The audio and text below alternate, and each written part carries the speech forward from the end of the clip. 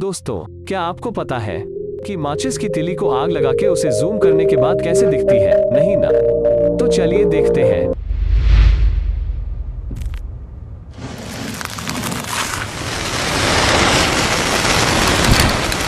अगर वीडियो पसंद आए तो लाइक और सब्सक्राइब कर देना।